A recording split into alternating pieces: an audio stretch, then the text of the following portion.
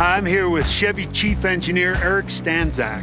And today we're going to be putting the new 2015 Chevy Silverado 2500 HD to the test. And Eric, I think when you're putting these trucks to the test, I think you need to do it in real world environment. I think it gives an opportunity to show how the truck can help the consumer in their day-to-day -day life. I completely agree, Howie. You know, we've spent a long time developing this truck, and if it can't cut it out here in the real world where people really depend on it, then we got to go back to the drawing board. Okay, so what are we going to do today? Well, one of the things that makes the Silverado so dependable is we've constructed the bed of roll form steel. Rolled steel as opposed to what? We use roll form steel in the bed of both our light duty and heavy duty pickups, as opposed to other materials like stamped steel or aluminum. Unlike stamped steel, the roll forming process allows us to use a lighter and higher strength steel. That helps with the bed's durability and strength, and it helps us achieve overall greater vehicle efficiency. So today we're going to be going going head to head with the 2015 Ford F-250, supposedly our competition. That's right.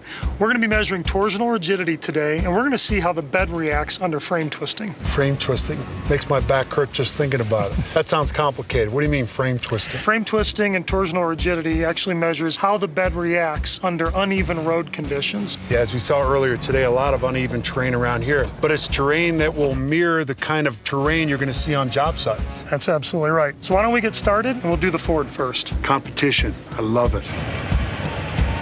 So this is where it gets interesting, Howie. Wow. It's quite a bit of separation there. Well, that doesn't sound good. Sounds like me in the morning. Look at that thing twist. Now let's get a measurement. That's about 0.95 inches. Now let's try to open that tailgate, Howie.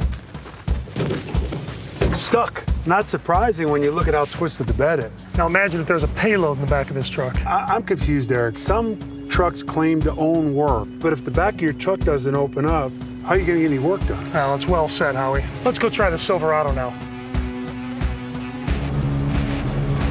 As you can see, there's very little twisting going on here. Quiet. What a difference. Let's see how much we actually have. It's a little more than a quarter inch, Howie. Now let's go try that tailgate. Piece of cake. Here's the thing, Eric. If you're with your truck, you're out on a job site, you're gonna deal with similar terrain. It's surprising that this isn't something that every truck can handle. We hired a third-party independent company called AMCI Testing. What they did was they ran the same tests that we ran here today and certified similar results. Seems simple to me, but it's kind of important out on a job site to be able to get the bed of the truck open. Well, that's why I would stick with a truck from a family of the most dependable, longest lasting, full-size pickups on the road. But I'm gonna take this one home. worth a shot.